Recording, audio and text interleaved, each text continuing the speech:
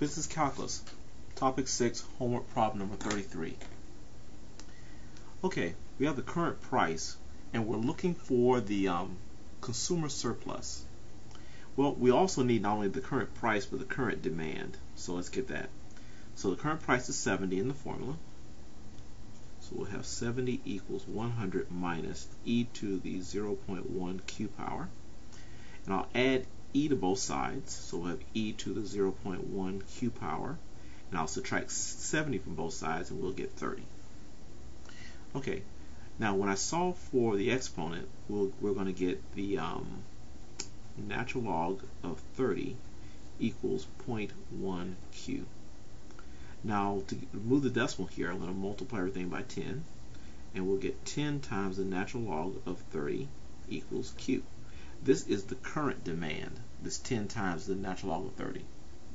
Okay, now 10 times the natural log of 30 goes in. And now to find our consumer surplus. The consumer surplus will be found by 0 to the current demand of the function p of q with respect to q and minus the current price times the current demand. So the current uh, demand is 10, 10 times natural log of 30. P is 100 minus e to the 0.1 q power. The current price is $70 and the current demand is 10 times the natural log of 30. Okay, now let's take the antiderivative of this guy right here. Antiderivative of 100 will be 100q with respect to q. And the antiderivative of e to this power, or u, e to the u, will be e to the u, 0.1q. And the derivative of u will be 0.1, and the reciprocal of 0.1 is 10. So there we are. So that's our antiderivative. And this will be from 0 to 10 natural log of 30. I'll multiply this, we'll get 700 times the natural log of 30. Now, let's put the natural log of 30 into 10 natural log of 30 into all this. Let's move this over a little bit. Okay, and we'll get 1,000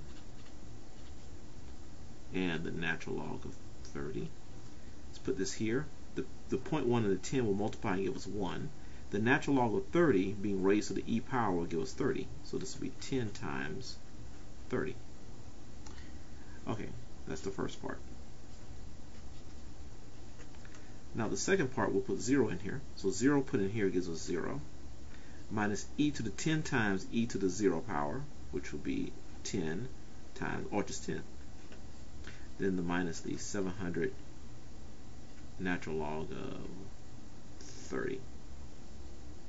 Okay.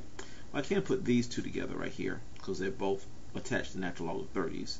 So we'll get 300 natural log of 30.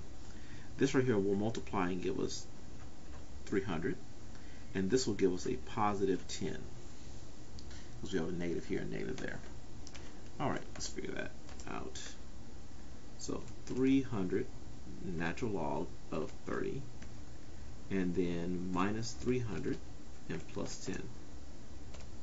I get a final amount of $730.36.